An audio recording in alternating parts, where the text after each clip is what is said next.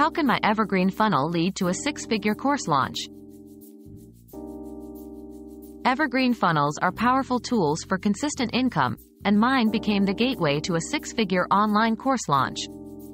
Here's a quick guide. 1. Identify your niche and ensure your course fills a gap. 2. Use targeted marketing to attract your ideal audience. 3. Engage and nurture your leads with valuable content. 4. Finally, ensure your course quality and presentation match the anticipation you've built. With these steps, your funnel can not only attract but also convert potential customers into actual sales.